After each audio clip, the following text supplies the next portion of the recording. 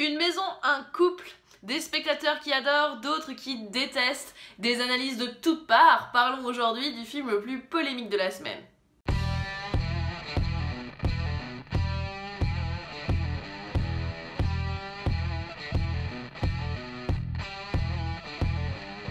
Vous l'aurez compris, aujourd'hui on va parler de Mother de Darren Aronofsky avec Jennifer Lawrence et Javier Bardem. Cette vidéo sera un petit peu spéciale parce que le film est très complexe et sujet à beaucoup d'interprétations et j'avais vraiment envie de pouvoir vous livrer la mienne afin qu'on puisse en débattre également dans les commentaires de cette vidéo. C'est pourquoi en seconde partie de cette vidéo, il y aura un volet analyse et donc spoil. De toutes les façons, si vous n'avez pas encore vu le film, si vous hésitez à le voir, si vous avez envie de le voir, le conseil que je peux vous donner, c'est d'arrêter cette vidéo tout de suite. Ça va pas être très bon pour mon watch time de YouTube, tout ça. Mais bon, enfin, c'est d'éviter toutes les critiques, de ne même pas écouter celle-ci finalement, euh, d'éviter la radio, d'arrêter de regarder la bande-annonce, d'éviter au maximum de rencontrer toute information concernant le film parce que franchement, ce serait dommage. Quand vous l'aurez vu, revenez, regardez cette vidéo jusqu'à la fin et ensuite on pourra en parler parce que c'est ça qui est intéressant avec ce film, c'est qu'il prête à beaucoup d'interprétations, que tout le monde n'a pas la même vision du film, qu'il y en a qui l'adorent déjà et d'autres qui le détestent déjà en trouvant qu'il est grotesque et ridicule, donc il est vraiment très important d'en parler. Maintenant, pour ceux qui l'ont vu et ceux qui ne l'ont pas vu mais qui continuent quand même à regarder cette vidéo, Mother, c'est l'histoire d'un couple avec une belle différence d'âge qui emménage dans une nouvelle baraque. La nana retape la maison tandis que le mec écrit des bouquins. Un jour, un homme un peu étrange sonne à la porte et je m'arrêterai là pour le pitch parce que ça ne sert à rien d'en savoir beaucoup plus, il faut voir le film. Le film est une sorte de huis clos qui prend rapidement des tournures cauchemardesques. Le spectateur vit le film du point de vue de Jennifer Lawrence, il vit l'expérience avec elle et il n'en sera jamais plus que ce qu'elle-même comprend. C'est un film que je trouve moi très onirique et qui pour moi, est une allégorie, une métaphore, mais je reviendrai là-dessus un peu plus tard. Du fait que le film s'éloigne d'une réalité concrète et socialement acceptable, il est clair qu'il va en dérouter plus d'un et qu'il y a beaucoup de spectateurs qui vont trouver ça grotesque, ridicule, sans queue ni tête, qui vont avoir envie de partir pendant tout le film, et d'autres qui vont y voir un sens et vont trouver ça génial. C'est même possible de trouver tout le film grotesque et d'y voir un sens à la toute fin. Les thèmes du film, si on veut d'abord en parler de manière un peu superficielle, euh, ce sont des sujets qui sont très importants pour Aronofsky et qui ont déjà été traités pour la plupart dans d'autres de ses films. Je les ai presque tous vus ces films sauf The Fountain, euh, pour une raison que j'ignore, je ne l'ai pas vu. Et c'est à mon avis le film de la filmographie de Aronofsky qui se rapproche le plus de Mother, mais du coup, bah, j'ai pas pouvoir faire le parallèle là tout de suite. Mais c'est pas très grave. Donc, les thématiques qu'on retrouve une nouvelle fois dans Mother, ce sont par exemple la célébrité qui avait déjà été traitée dans Black Swan et euh, dans The Wrestler, ou à proprement parler, euh, pas exactement la célébrité, mais euh, le succès également. On retrouve à nouveau dans Mother aussi le thème de la religion qui avait été bien sûr extrêmement traité dans Noé, mais aussi dans The Fountain, si je ne m'abuse. Il y a un mot qui revient quand on écoute les gens qui aiment Aronofsky parler de ses films et c'est le mot bouleversant. Moi je me rappelle avoir eu 15 ans, avoir regardé Requiem for a Dream et, être resté là comme ça devant le générique de fin pendant je ne sais pas combien de minutes parce que c'était bouleversant. Moi j'ai aimé tous les films que j'ai vus de lui c'est un réalisateur que j'affectionne parce que justement moi j'attends d'être bouleversée par le cinéma, d'y trouver une expérience, de voir quelque chose que je ne peux pas forcément vivre dans ma vie de tous les jours et justement j'aime bien qu'on vienne chercher au plus profond de moi des sentiments que j'ai pas l'habitude de ressentir et de montrer des choses qui vont me bouleverser. C'est pour ça que moi je suis déjà allée voir Mother en étant à demi convaincue de ce que j'allais voir et j'ai pas été déçue parce que une nouvelle fois c'est venu me chercher et ça m'a bouleversée.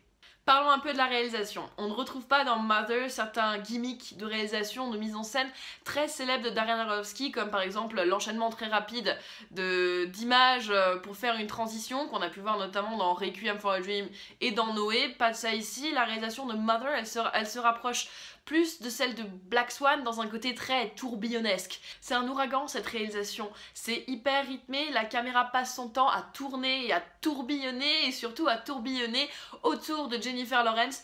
Il y a beaucoup de gros plans et c'est comme si Darren Aronofsky il, avait toujours voulu la mettre au centre de ses plans et la filmer sur quelque chose qui... Enfin, c'est très près du corps et ça va jamais plus loin que le plan américain. On la voit rarement de la tête aux pieds. Cette caméra qui tourne, évidemment, elle accentue le malaise que veut donner le film. Elle, elle vous rend un petit, peu, euh, un petit peu malade, finalement, et c'est ça toute l'ambiance que veut créer le film. Enfin, ça va très très vite, ça tourne, ça tourbillonne, et en fait, vous ne pouvez rien faire face à ce qui est en train de vous arriver.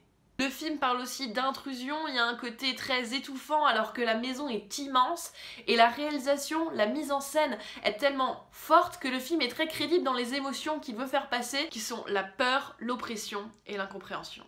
Je vais pas vous le cacher, hein, le film est difficile à regarder, on se sent pas bien, c'est une véritable expérience, c'est vraiment pas pour tout le monde, ça, ça en est malsain, hein. il y a des moments où on a presque envie que ça s'arrête tellement c'est violent et tellement c'est désagréable à regarder, mais bon, c'est ça aussi le cinéma et moi c'est ce que j'apprécie, c'est de vivre des émotions fortes aussi, qu'elles soient bonnes ou finalement mauvaises. C'est une expérience. Vous aurez peut-être pas forcément envie de le revoir, mais en tout cas ce sera inoubliable. Rien à dire sur le duo d'acteurs, Jennifer Lawrence a un très beau rôle sublimé par l'œil d'Aronofsky. Elle incarne ce beau personnage malmené avec énormément de justesse. Elle est très loin des rôles qu'elle a déjà eus, c'est quelque chose de complètement nouveau pour elle ce rôle-là et honnêtement ça lui va très bien. Euh, rien à redire non plus sur Javier Bardem qui cultive une très belle ambiguïté, qui est aussi un personnage intéressant avec une vraie dualité qu'il arrive bien à exploiter. Donc le duo fonctionne vraiment très bien et aussi il faut signaler la présence de Michelle Pfeiffer. Euh, qui est tout à fait jouissive je trouve. Euh, elle a un rôle dont je peux pas parler mais qui est... Euh, enfin qu'elle incarne très bien. Passons maintenant à la partie analyse, parce que cette fois c'était vraiment important pour moi d'aller en profondeur dans les messages que j'avais pu retirer de ce film, de vous expliquer ce que moi j'ai compris, pour que vous puissiez également m'expliquer ce que vous, vous avez compris, parce que ça fait partie de l'intérêt de ce film, les différents niveaux d'interprétation et ce que chacun peut en voir en fonction de sa propre sensibilité. Donc c'est vraiment très important d'en parler. Donc si vous n'avez pas vu le film et que vous êtes toujours là. Je vous invite à partir et à aller voir le film et à revenir plus tard avec votre propre analyse pour pouvoir euh, ben, la confronter à la mienne. J'ai lu pas mal de retours sur le film et notamment pas mal de critiques négatives où je me suis dit mon dieu mais en fait on n'a pas vu le même film, c'est pas possible, ils ont pas compris, ils sont passés à côté du message. Enfin c'est mon ressenti à moi, hein. parce que j'ai eu l'impression qu'il y a pas mal de critiques, pas mal de journalistes, ou même pas mal de personnes en général, qui se sont arrêtés aux références bibliques qui apparaissent dans le film à partir de sa seconde moitié. Alors certes, elles sont là et elles existent, on est obligé d'y penser, mais finalement pour moi, ces références bibliques qu'on voit arriver comme ça d'un coup dans le film, elles sont là uniquement pour prouver que chaque histoire peut être une référence biblique et que finalement elles sont partout. Pour moi, et c'est mon analyse propre, le film est une allégorie de la relation de couple. La maison symbolise l'écrin de la relation, c'est là qu'on construit la relation de couple et qu'on l'entretient. C'est là que se construit l'amour entre deux personnes. Il peut naître déjà ou renaître d'un tas de cendres et ensuite on le retape, on le rebâtit, on en fait quelque chose de neuf. Aucun des personnages du film n'a de prénom. Je sais pas si ça vous a marqué, mais c'est le cas. Hein. Aucun n'a de prénom. C'est ce qui pour moi, est vraiment le symbole que le film n'est pas une histoire qui est arrivée à deux personnes, mais c'est une histoire qui arrive à tout le monde et qui peut arriver à tout le monde. C'est pour ça qu'il ne faut pas donner de prénom à ces personnages parce qu'ils sont, parce qu'ils sont vous, ils sont moi, ils sont tout le monde. Donc, le personnage de Jennifer Lawrence est clairement le personnage le plus investi dans la relation. C'est elle qui retape la maison, c'est elle qui décore tout, c'est elle qui en prend soin, tandis que lui, il est là à simplement écrire égoïstement et ne s'occupe pas de la relation alors qu'il est aussi à l'intérieur de celle-ci. Évidemment, c'est pas très équilibré tout ça, donc qu'est-ce qu'elle fait Jennifer Lawrence quand ça ne va pas? Elle s'approche des murs de la maison pour ressentir au fond d'elle son cœur et se rendre compte, oui, effectivement, qu'il bat toujours pour la Vière et qu'elle a encore de l'amour pour lui. Quand ça va pas du tout, elle boit une petite potion que vous avez tous vu dans le film, cette petite potion un peu dorée, qui doit être là pour raviver la flamme. Elle la jette dans les toilettes euh, quand elle est enceinte parce que finalement elle n'en a plus besoin parce qu'elle n'aura plus besoin de raviver la flamme de l'amour vu qu'elle aura toujours l'amour pour son enfant qui est le seul amour indéfectible. Tandis que elle, donc, elle entretient la maison en faisant tout joli le ravière. Lui, qu'est-ce qu'il fait? Eh bien, il invite constamment des gens dans la, dans la maison sans lui poser la question. C'est d'abord la famille qui ramène ses propres problèmes, puis ensuite ce sont tout un tas d'inconnus, et bah oui, pourquoi? Bah en fait ils laissent simplement des gens s'immiscer dans leurs relations, d'abord des gens qui peuvent, qui peuvent être proches d'eux, mais qui ramènent leurs propres soucis au sein de leurs propres relations, créant la distance, et ensuite, c'est le fait qu'il soit quelqu'un de connu et de célèbre qui ramène entre eux un tas d'autres gens, vraiment une masse impossible qui euh, amène encore une difficulté supplémentaire à la relation parce qu'il n'y a pas que la famille à gérer entre eux, il y a encore tout un tas de fans, tout un tas de monde qui les connaissent et vivent avec eux finalement à l'intérieur de cette relation. Et ils ne peuvent plus simplement être tous les deux. Il y a finalement tellement de monde au milieu de cette relation que c'est ça qui finit par détruire la maison et donc détruire la relation. C'est là qu'elle essaye encore une dernière fois de toucher les murs de la maison et elle se rend compte que son petit cœur est devenu tout gris, tout pierre parce qu'il n'y a plus rien à donner. Elle lui a tout donné à Ravière, il n'y a plus rien, elle est à sec, elle n'a plus d'amour.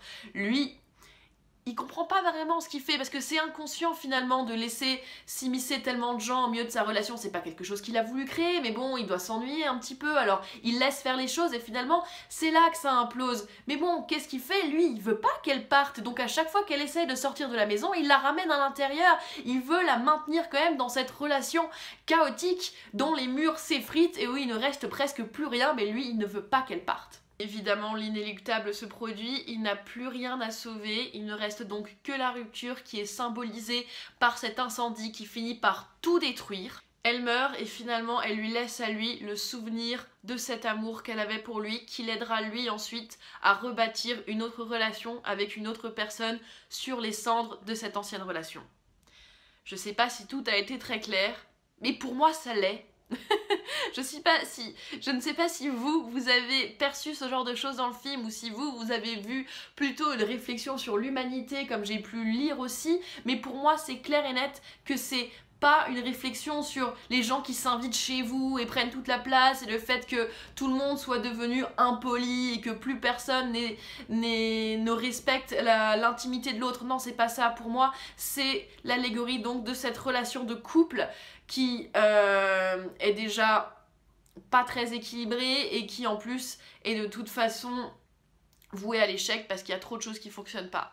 J'ai pas tout compris tout de suite comme ça, hein. j'ai vraiment passé les deux heures du film avec les sourcils en l'air comme ça en disant mais mon dieu mais qu'est-ce qui se passe?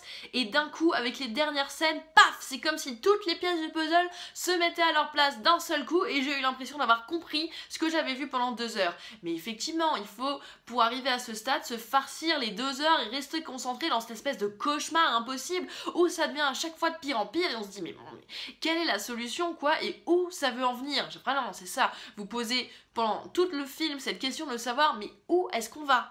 Il y a certainement encore d'autres choses à comprendre sur ce film, mais comme je le disais avant, pour moi c'est pas un film sur euh, les problèmes de l'humanité, c'est pas non plus un film sur euh, la création et la célébrité. Non, pour moi c'est vraiment ça, c'est vraiment cette allégorie du couple où tout le monde se mêle tout le temps des relations des autres, alors quand ça marche déjà pas bien, et ben ça finit juste par tout détruire. C'est un très beau film si on ose le considérer comme une métaphore et pas comme une histoire concrète qui arrive simplement à deux personnes lambda. Non, c'est une histoire euh, universelle finalement de ces problèmes relationnels qu'on a dans un couple et qui arrivent à tout le monde. Si on n'est qu'un seul à entretenir la maison pendant que l'autre laisse toujours la porte ouverte, on peut pas y arriver, hein. la maison elle sera quand même toujours sale. C'est un beau tableau, certes dérangeant, mais extrêmement bien pensé, avec une réalisation cohérente qui fonctionne et qui va vous chercher aux tripes et vous prendre par des émotions que vous n'avez pas forcément envie de ressentir, mais merde, elles sont là ça peut ne pas plaire, on peut ne pas se sentir touché par tout ça et voir que un truc qui n'a ni queue ni tête et qui est complètement ridicule, oui. Mais si on y réfléchit vraiment, si on prend le temps de se poser sur ce qu'on a vu, eh ben il est possible d'y trouver un sens. Parce que aucune scène n'est là par hasard, tout a un sens, il suffit de le chercher par contre, hein. on va pas venir vous l'apporter sur un plateau d'argent et c'est bien ça le problème du cinéma de Darren Aronofsky. Il faut aller, il faut y aller soi-même, chercher ce qu'on a envie d'y trouver. Voilà, vous avez mon avis sur Mother de Darren Aronofsky. Je vous invite à commenter pour me livrer votre propre analyse aussi. Je vous invite bien sûr à vous abonner à la chaîne, à lire aussi les critiques que j'écris sur mon Tumblr, à me suivre sur Facebook, sur Twitter, sur Vodcaster et aussi si vous habitez à Strasbourg, en Alsace ou dans les environs, à vous rendre euh, pendant les 10 jours qui viennent là au Festival européen du film fantastique de Strasbourg, ça vaut vraiment le coup.